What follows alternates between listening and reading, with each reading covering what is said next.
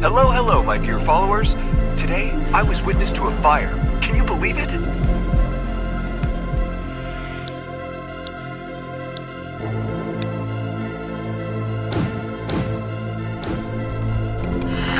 Dear viewers, the show is starting.